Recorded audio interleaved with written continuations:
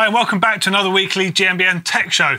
Coming up on the show this week, we talk a little bit about bikes getting a bit long. We check out some new prototype bikes coming from GT and another potential from Mondraker. And we also have a look at a very cool Canadian brand called Rollingdale Cycles. Okay, are bikes getting a bit long? Are people getting a bit carried away with this? So, in the last 10 years, undoubtedly bikes have progressed massively. You're talking in terms of geometry, in terms of componentry, and of course, they're getting longer as well. If you go back 20 years ago though, you're talking bikes that are going to be less than a thousand millimeters in their wheelbase. And head angles, you're talking in the 70s, like pretty steep stuff, which would be quite horrendous on today's type of terrain.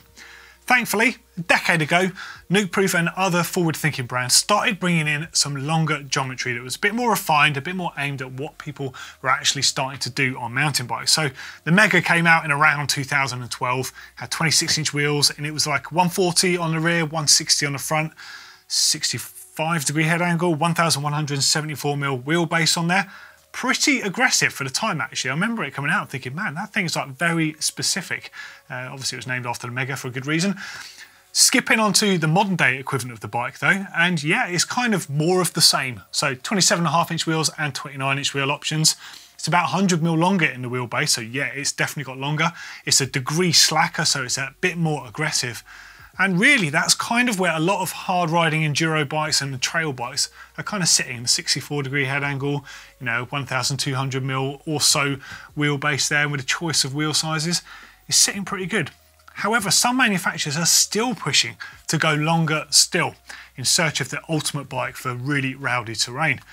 Geometron make a bike called the G16 and in their longest setting and the longest size it's over 1,350 millimeters, which is just colossal. It's like a barge, that thing. And head angle, 62 and a half degrees. Super slack. I don't think you could ride that no-handed on the flat without the wheel flopping over, but I bet that thing goes like a train when you point it down the side of a mountain. So why exactly would you want a longer bike then? Well, the first thing is speed. Faster things handle better when they're longer, okay? So you're pointing a bike down a mountain, you're naturally gonna go faster. The longer the wheelbase is, within reason, you're going to feel a lot more stable. Combined with a slack head angle, the front wheel is going to feel further out in front of you. It's going to be attacking things head on down the side of a mountain. You're not going to feel pitched over the bars like you can on a shorter, steeper bike. The bike essentially is coming to life in an element it's absolutely designed for. It's going to rail down the side of a mountain. Just think about the support and stability you can have by being a bit more neutral on the bike instead of hanging on for dear life. But it's not just about how the bike feels, it's actually about what a long, slack bike can do for the rider. Now think about what EWS racers have to contend with. They're riding massive days out in the mountains. We're talking real mountain tracks here. And really, if they've got to wrestle a bike down a terrain, that's something that's actually going to hamper their riding. What they're looking for is something that's very stable, very secure, and very predictable. They take that out of the equation then and they can focus on the sheer physical effort that they have to do to achieve what they need to in racing at that level. And yeah, you can't beat a bike like that for terrain like that. But the fact is, how many people, how many of you out there actually need a bike like that or ride terrain that requires a bike to be like that? Let's face it, most of us are quite happy smashing through berms down the woods where, let's face it, a shorter bike, maybe even a bike with smaller wheels, is going to feel more fun and surely it's all about fun.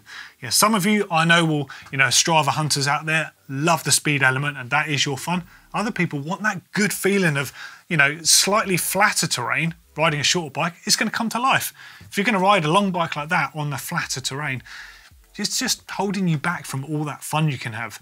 Now, I'm sure that mountain bike manufacturers are putting longer and longer bikes out there, but where's it going to stop? Are bikes getting too long? I'd love to know what you think. Let us know in those comments underneath.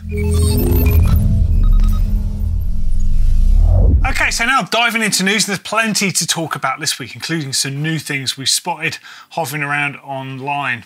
Now, the first one is what appears to be a new GT sanction. So there's a few shots buzzing up on screen in a few different ways here. So the first is, uh, well, Martin Maes and of course uh, Noga Korem. They've been riding what looks like a high pivot version of a sanction uh, or a scaled down GT Fury, whichever way you want to want to think about it. Uh, but Wyn Masters has also been spotted on it. So Martin Noga have been seen using a Fox 36 and a Fox 38, both with bottle cages on their bikes.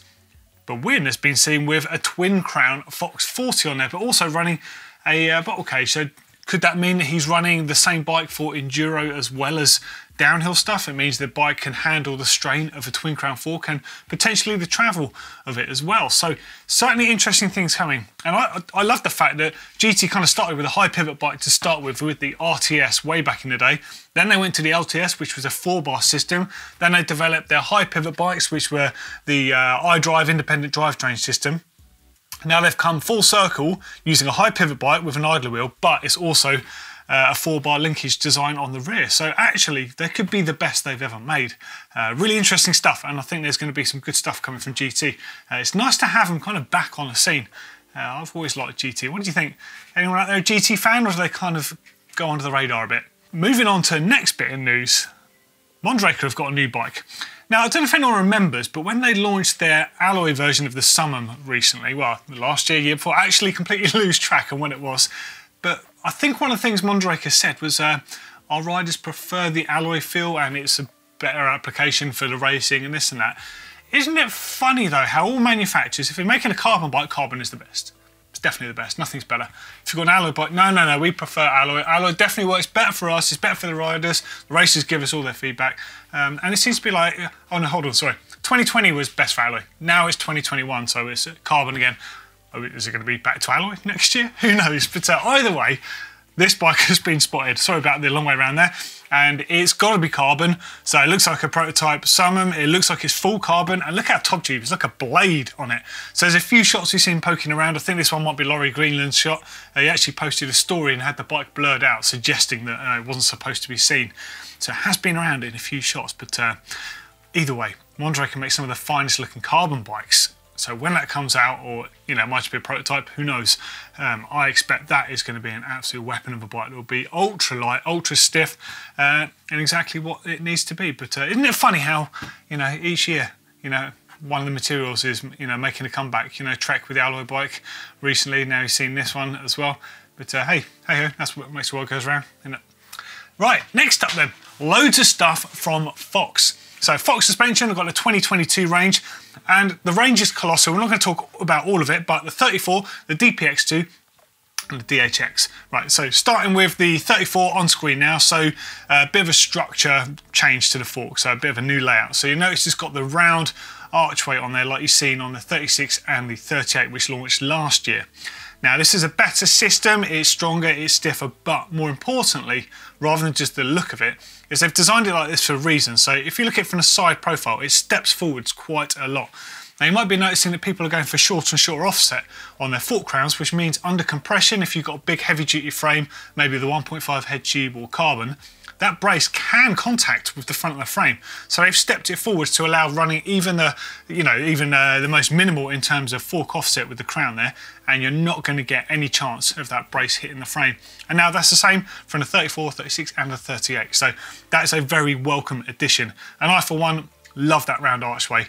When it first showed up and I got a pair of the 36s out of the box, I was like, ooh, I'm not sure about this. But as soon as I held it up against the previous uh, 36, which had the quite square angular archway, um, less of an archway, but you know what I mean, a brace, I found that, that looked quite old by comparison. So I think this is a welcome addition uh, and it's obviously here to stay. So on the 34, you've now got the regular 34 is 100 to 120 mil travel, sorry, 120 to 140 mil travel. The Stepcast version, which is the super lightweight cross country one, that is this one on screen. That is 100 to 120 mil travel. Now the forks at a glance look fairly similar other than on the Stepcast you've obviously got the uh, the profiled lowers where they stripped off all that material. The internals are slightly different. So we'll do 34 first. 120 to 140 mil travel, 44 and 51 mil offsets on there. It's got a new 58 mil crown diameter, so it's a nice, strong, burly crown on there. A bit more support than previous models, which some people, I think, criticise for saying they're a little bit flexy under braking. No more. Uh, the lower leg, interestingly, has these cool bypass channels. I'm not sure if you can see them in this shot, but it's weird little channel profiling you can see on those lower legs. It's there for a couple of reasons. The first one is to help atmospherically balance the fork. Uh, any air that gets built up just under compression for ingesting through the seals, that can actually limit you getting full travel, make the fork feel harsh. So they're there basically to help bypass that. You might notice on the bigger 36 and 38, they've actually got bleed valves. So anything that builds up there Bearing in mind though, that's not going to happen on your regular riding. That's going to happen like on a 45 minute like enduro stage or something like that. Um, that's why they don't need it on the 34. But an upside of these channels is the oil from the lower leg uh, fluid basically to lubricate the bushes is free to migrate a bit easier than not just having a capillary action there to actually keep things lubed. So they should feel technically, at least on paper, a lot smoother. So that's a welcome addition.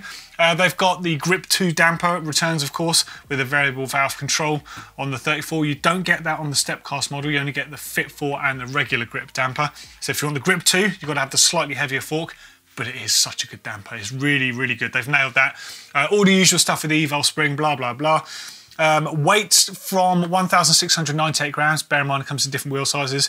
Pricing in US dollars 769 to 969, and in euros that's 1069 to 1389.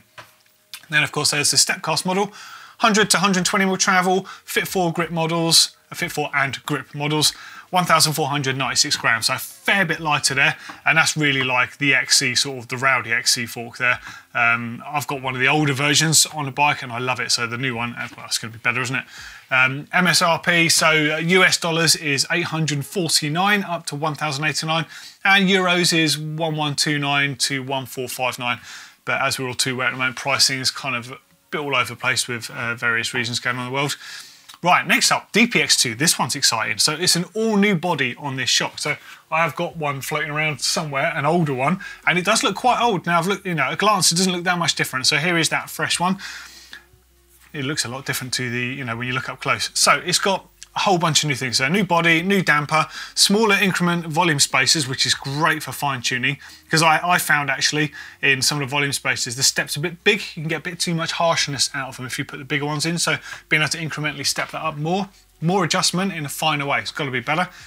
MCU uh, microcellular urethane, that is to you and me, bottom out bumper. Sounds a bit like 1990s technology, doesn't it? But, uh, but it works for good reason. It's a, basically a hard rubber stop for when you actually smash through that travel, so you won't get a nasty metal to metal clunk, even if you like it to feel quite linear. Uh, so that's quite good. It's got hydraulic uh, top out, so the opposite in there. Low speed compression, independent firm mode, so that's basically a climb switch to you and me, uh, two position on there, um, and you can obviously adjust the amount of low speed compression you have adjustable rebound on there, optimized reservoir size per size. So the longer stroke shocks will naturally have a bigger piggyback reservoir with more oil for more consistency. So that's a great thing to have in there. Kind of looking at frame geometry for inspiration there. Um, and it's got a larger F sleeve. So this is probably the single biggest thing of all of them. It reduces the overall pressure that the average rider will put in. And they say by 40 PSI compared to the previous DPX2. So that's super good if you're a heavier rider and you're lacking being able to get enough air pressure in the shock to support your weight. So if you're on the heavier side, this could be amazing for you. But also the fact it reduces. So technically I should reduce 40 PSI in the shock compared to what I normally do. That should make the shock feel absolutely amazing on the small stuff. So fair play to Fox. I look forward to trying one.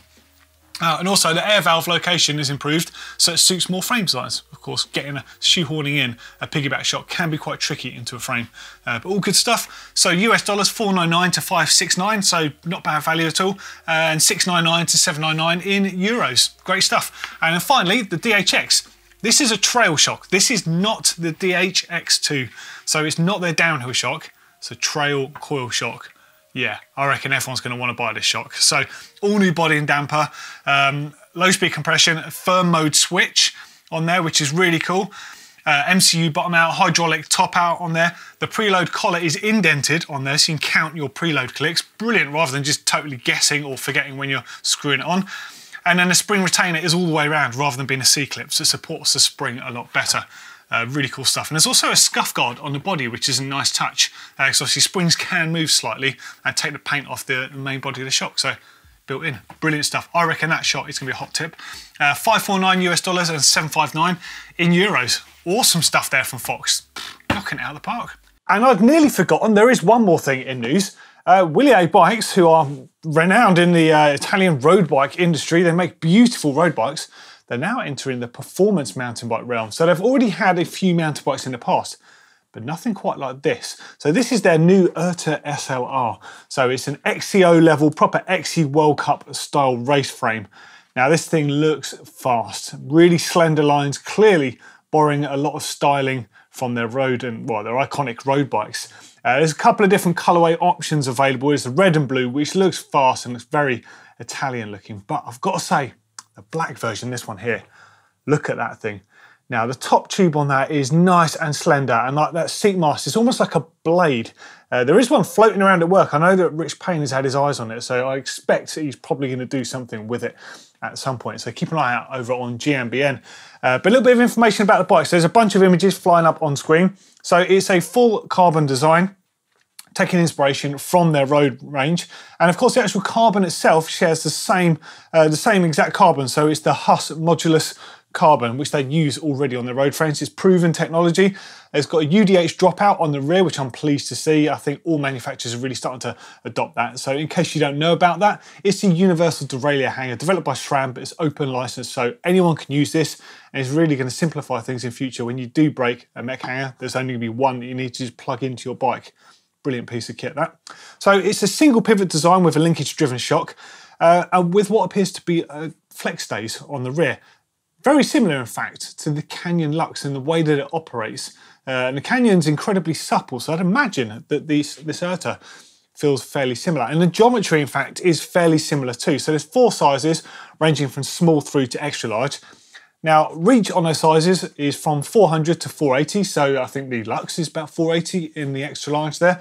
Head angle 69 degrees, seat angle 74 degrees, chainstay 432, wheelbase 1088 to 1175. So really similar geometry. And if you look at some of the top cross-country race bikes around, they all share fairly similar stats. I mean, some bikes are starting to get more extreme. This is a bit more traditional, but it's going to sit right in with where the market is now. So actually, it should prove pretty popular. And if you've actually got a Wilier road bike, well, it's the perfect partnership to uh, to add to your stable and obviously convince you to ride mountain bikes instead of road bikes. But um, but here we go.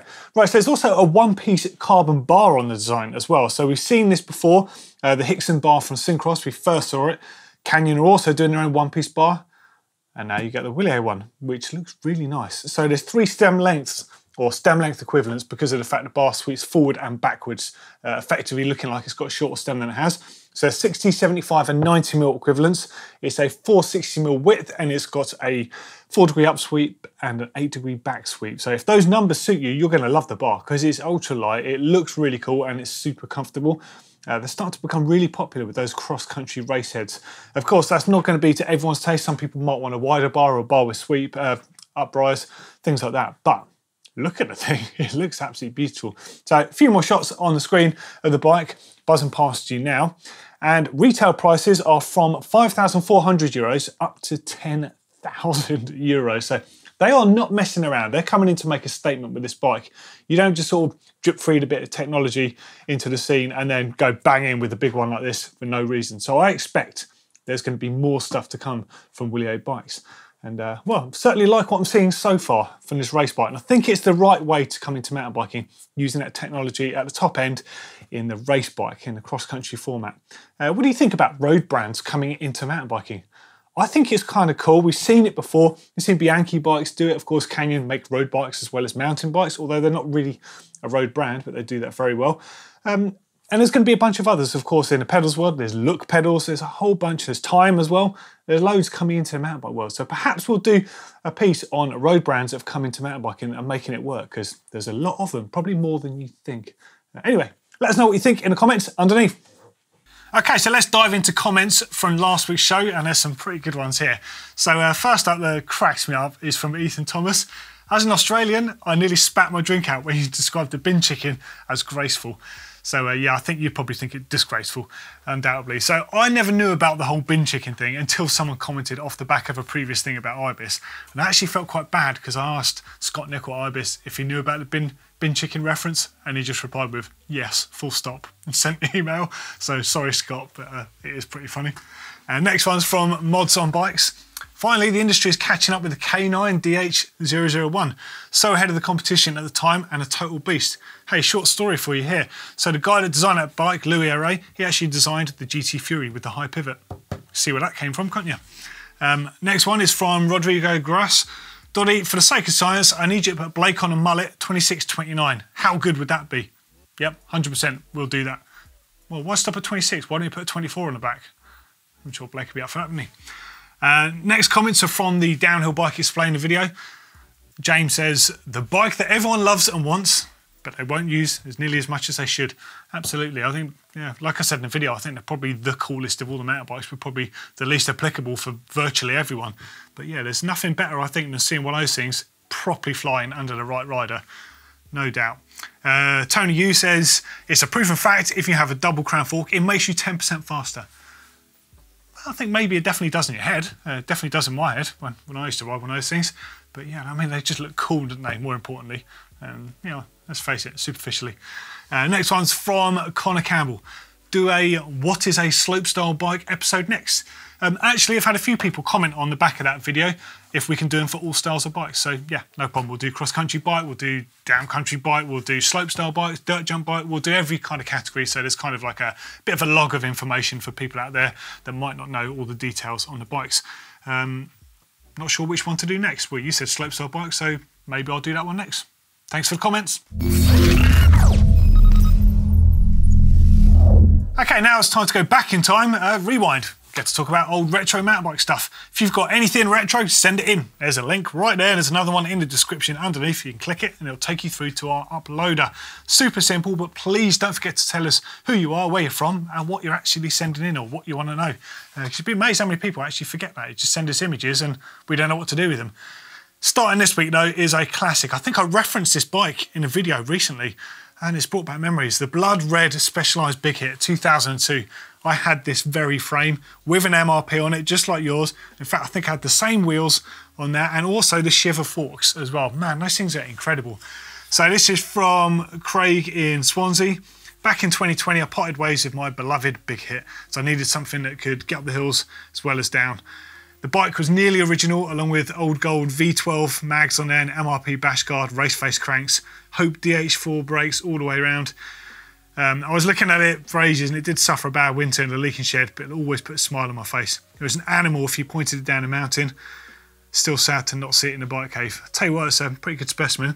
Um, if you have sold that and people are looking for the uh, new MRP rollers, my retro contact, Jamie Lynn from Mountain Mania Cycles, he paid for MRP to open the mould up again to make those. So he's got a load of those for sale uh, without the bearings. You have to put your own bearings in, as far as I know. So get in touch with Jamie at Mountain Mania Cycles, and he should hopefully be able to help you out. He's got loads of those things, as far as I know.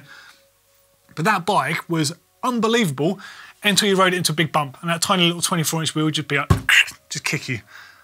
But it did look really cool. And the Shiver inverted fork, man, those things, yes, they were bendy, but they worked so nicely gutted, gutted. I had that fork, I had that bike. The bike's long gone, but the fork I took off and I was going to put it on someone else, and I actually don't even remember what happened to it. But look how dated it is. So it's got 135mm back end with quick release on a bike like that with what, 8 inch travel. That's mental, isn't it? But pretty cool. And look how steep the head angle looks on it. It just looks, it looks old now, really seeing it. And a cool little fe feature on the front there. You've got the Azonic Hammer stem. So that was the first sort of inline stem made by anyone that wasn't uh, mounted onto the top crown fork. Pretty similar to the Forward Geometry stem that Mondraker later came out with that's like one of those bad boys, but that was obviously quite a bit more refined. But, um, but cool stuff to see. What else we've got in Rewind? Oh, I forgot, it's another big hit. So uh, this one's from 2003. Uh, this one's a Newcastle upon Tyne from Danny. My old big hit from back in the day. I really miss that bike. It does feel from what people said in the comments, people have got a bit nostalgia about the old Big Hit bike. There must be a few more of you out there that have got big hits. If you have, please show us the pictures, get involved on our social media or in the comments and tell us what you got. But this one's cool, she's got the Sun MTX rims. So early on, when the Specialized Big Hit came out, it was a real struggle to get the 24 inch rear wheels uh, and the right tyres. So I, I think I ran that intense tyre system on there with a three inch rear tyre. that was so big and so and I think I had the Sun double track rim. Couldn't actually get the tyre off. It was a four ply tyre, like just the thickest thing ever. And as far as I remember, I left it in the old MBK workshop because it was just like couldn't do anything with it. You'd never get a puncture on that. You could ride that into any size curb you want, and you would just laugh at it. But uh, mega cool stuff. Nice set of boxes on there. Nice cool shock on the rear. Another set of Hope brakes. Early Maxxis high roller tyre on the front. Looking good. Awesome stuff, guys. Right, next up is from Shenandoah, and this is a 1995 Proflex 855 World Cup Series. man, when that bike came out, that felt so ahead of the curve. Look at it now. It looks like a bit of a joke, doesn't it, compared to what we have today? So you've got the, the Girvin Vector fork on the front, so a leading link fork. Pretty cool, actually, back in the day when it came out. And on the rear end, you've got uh, a fairly high pivot, really, for a single pivot there. So I'd imagine you would have noticed that in some of the gears.